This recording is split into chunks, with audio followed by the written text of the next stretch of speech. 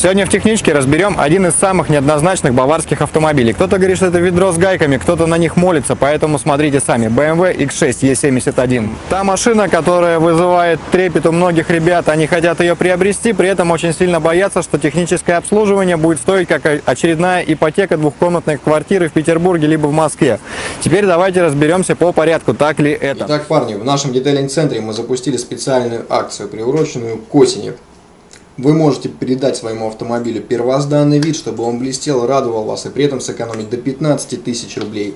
Ссылочки все будут в описании, поэтому переходи, смотри, оставляй заявку, сделаем все в лучшем виде, будешь самым красивым. Разберем по мотору. Здесь мотор V8, две турбины. А, конкретно у мотора есть несколько основных болячек. Первая и самая основная, он очень теплонагружен. Особенно он теплонагружен в районе турбин. Там температура в районе 700 градусов. И получается что? Там же проходят э, трубки масляный на саму турбину. Масло там может коксоваться. Масло в турбины не поступает, соответственно, турбины могут умереть. Также там проходят вакуумные трубки, трубки системы охлаждения. То есть за этим местом обязательно нужно очень часто и грамотно следить. Если что, устранять проблему в моменте, потому что если вы здесь что-то не устраните в моменте, это будет стоить больших денег. Также периодически к 50-60 тысячам километров люди приезжают на капиталку. На капиталку они приезжают по нескольким причинам. Первое – это редкая замена масла, то есть замена масла по дилерским регламентам. Масло здесь реально нужно менять где-то раз в 5000 километров, и такой проблемы не возникнет. А, второй момент – это некачественное масло. То есть многие, приобретая BMW, почему-то считают, что можно экономить на обслуживании, особенно автомобили М, если они куплены на последние деньги, это нифига не так. Нужно понимать, что ты купил спортивный автомобиль, в котором 555 лошадиных сил, и их нужно э, достойно обслуживать. А также периодически встречается проблема по мотору, а, начинается коррозия на алюсиловом покрытии двигателя, а, точнее блока. Здесь поможет только замена блока. Они нормально не гильзуются. Если вы хотите, чтобы у вас М осталась М, нужно выложить кругленькую сумму денег и поменять это. Встречались на ранних версиях гидроудары. Если машина долго стояла, это была проблема с форсунками. Устраняется она просто заменой форсунок на последнюю ревизию, но здесь возникает такой момент. То есть э, по оригинальным наклейкам на этикетках этих форсунок пишется, что последний номер, а что вложено внутри, это большая загадка. Поэтому почти все специализированные сервисы BMW закупают их типа оптом, а потом прямо на самих форсунках выбирают то, что рестайлинговое, чтобы поставить и не было проблем. Теперь пойдемте поговорим о подвеске. По подвеске а, на X6, на X6M есть куча аналогов, но мы действительно не рекомендуем их ставить, потому что M остается M, когда она на оригинале. Все это совсем по-другому рулится, совсем по-другому ощущается, плюс ресурсность. Вот, очень часто вылетают верхние рычаги передней подвески, стоят они в оригинале в районе 12-13 тысяч, опять-таки все будет в табличке в описании. А также немаленьких денег стоят передние тормозные диски. Комплект, честно, я сейчас не помню, опять все будет в табличке, их тоже нужно лучше ставить ставить оригинальные, колодки тоже только оригинал. Владелец вот пожаловался, послушал, поставил аналоги, аналоги начали свистеть. И не обращайте внимания, здесь перфорированные тормозные диски от F-серии. Честно говоря, владельцу они не понравились. Говорит, тормоза плывут, не всегда хватает. На М это очень важно, потому что долбить вы будете на ней почти регулярно. Что касается долбежки, кстати. Если вы на ней долбите, не рассчитывайте, что у вас расход будет меньше 20 литров. 22-24 этот автомобиль кушает в спокойном режиме. В режиме боевом, я думаю, где-то к 40 он спокойно будет есть. Топливная система автомобиля очень капризна качеству топлива. Вам нужно выбрать ту заправку, в которой вы будете уверены, иначе можно опять-таки приехать на форсунки и на кучу всякого геморроя. Поэтому только 98 быть готовым к большому расходу. А, пойдем к коробке. Коробка здесь относительно надежная и все очень сильно зависит от того, как вы эксплуатируете автомобиль и как вы ее обслуживаете. На машине желательно менять масло в коробке примерно раз в 40-60 тысяч километров, и тогда особых проблем коробка не доставит. А теперь самая любимая тема владельцев, э, а точнее даже не владельцев X6M, X5M. Это привода. Да, привода рвет, но привода рвет, если вы катаетесь очень динамично, все время со старта начинаете долбить, любите побуксовать в снегу, любите долбануть в дождь, да, их рвет. А от этой болячки можно избавиться. Там, а, по-моему, чуть немного опускают подвеску, но тогда получается, что идет больше нагрузка на задний редуктор, идет больше нагрузка на, на кардан, они тоже усиливаются, потом идет больше э, нагрузка на раздатку, она тоже усиливается, потом идет больше нагрузка на коробку, она тоже усиливается, в итоге вы чехлите полтора миллиона и у вас не рвет привода. Сами привода стоят в районе 35-40 тысяч рублей. Все это опять будет э, в табличке в описании. И тут каждый делает выбор для себя. Если строить какой-то серьезный корч из него на лошадей 800, то да, это необходимость. Если вы остаетесь в около стоке, а этот автомобиль на стейдже 2 и там в районе 620-650 лошадиных сил, то в принципе будьте периодически готовы, что нужно будет поменять привода. Э, по задней подвеске.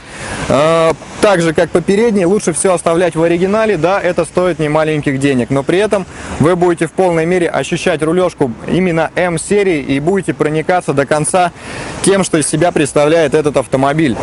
Этот автомобиль в до рестайлинге. От рестайлинга их очень легко отличить. На рестайлинге ставится светодиодная оптика. Она, кстати, продается комплектом до оснащения, стоит в районе 200 тысяч рублей. Но, кстати, очень крутая оптика, мне очень понравилась. Я катался, знакомому недавно привозили. И задние светодиодные фонари, и немножко э, отличие идет по визуальному внешнему виду. А так, по мне, машина выглядит очень интересно. Единственное, что она не практична, это скорее двухместное купе, потому что назад вы вряд ли посадите людей. Места там очень мало, багажник маленький. Можно даже, кстати, пойти и посмотреть. Телепортировались. Ну вот, собственно, багажник. Сюда особо ничего не положишь, чисто продукты, я не знаю, какие-то вещи, спортивную сумку. Но X6M не задумывался как э, семейный автомобиль, он задумывался такой высокий купе для эгоиста.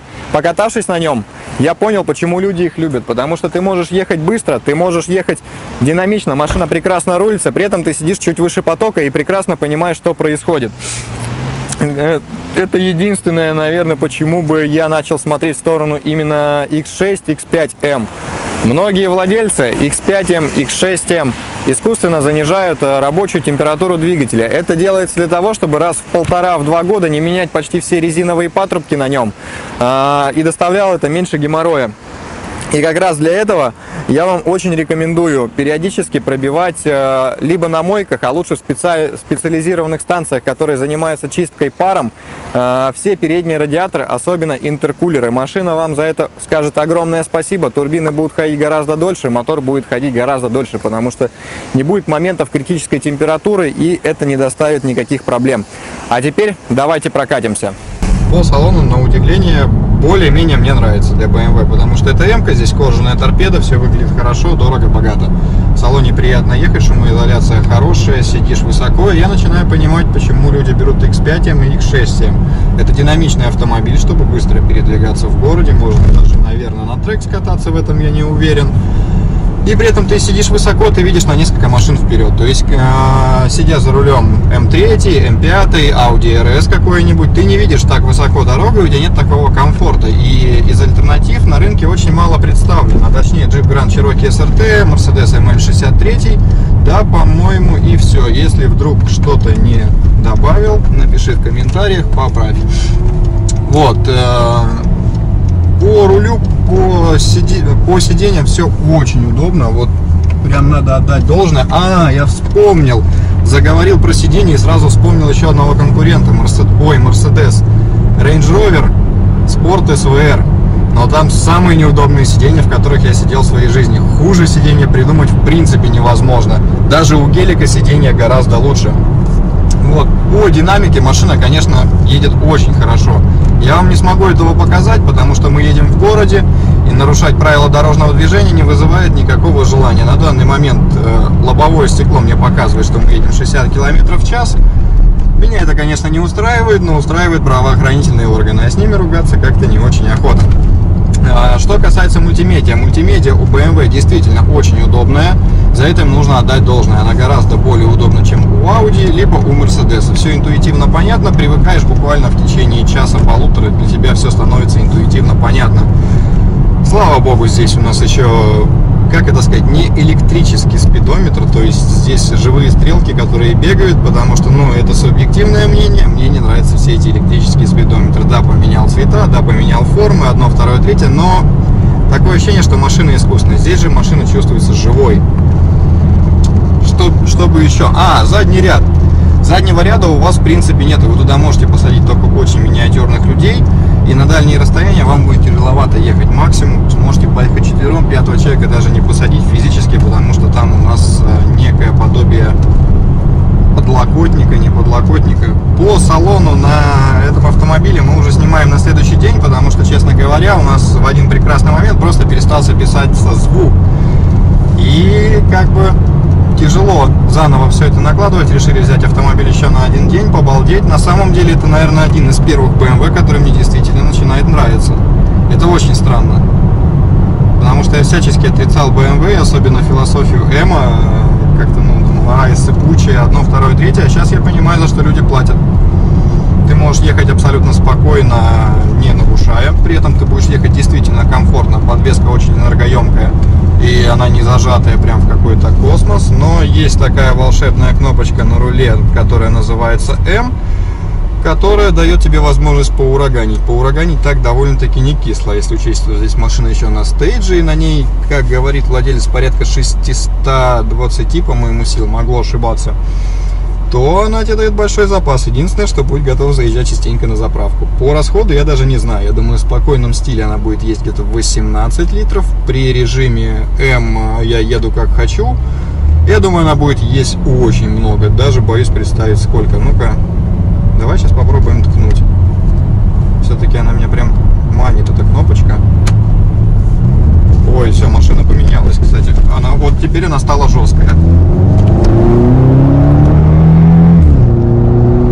чуть-чуть буквально нажимаешь, она едет. Машину просто не узнать, она другая.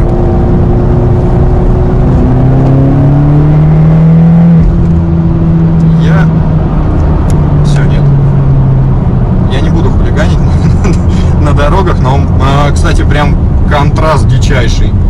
Просто по поведению, по всему она сразу же говорит, не-не-не, сейчас вот будет весело. Нажимаешь кнопку М, это вот, и сейчас вот будет весело. До этого все было фигня. А вот сейчас будет интересно. Но при этом ты просто отключил кнопку М, перевел в драйв. Все, поехали спокойно. Я бы даже задумался о покупке данного автомобиля. Вот честно. Единственное, что меня смущает, это возраст этих машин, стоимость их обслуживания. Да и все. Особенно возраст. Потому что если что-то пошло не так, а с моторами это часто происходит, то это стоит больших денег. Это стоит где-то порядка полумиллиона владелец как раз таки примерно эти деньги и потратил.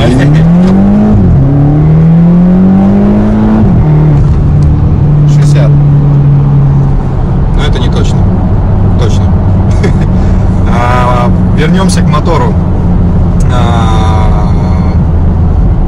Что-то происходит с мотором, а это может произойти довольно-таки часто, примерно на 60 тысячах километров, если не сделать э, дополнительную систему охлаждения, точнее пустить охлаждение по большому контуру, так называемому, не поставить термостат, чтобы он срабатывал на более низкой температуре, то как бы можно приехать где-то на полмиллиона. И машины, которые там самые стартовые, понятно, что они убитые, усосанные.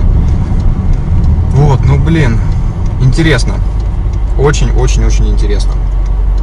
Я бы взял по стоимости всех деталей, по стоимости всего Попадоса, я думаю, что по X6M мы сделаем прям гигантскую таблицу, э, которая займет у меня примерно день. Все это будет ссылочки в описании, поэтому смотри, если задумываешься о приобретении данного автомобиля. Но лично мой совет, если есть деньги, если есть желание кататься на BMW, и если ты любишь кататься динамично, этот автомобиль однозначно для тебя. Вот теперь я проникся философией его.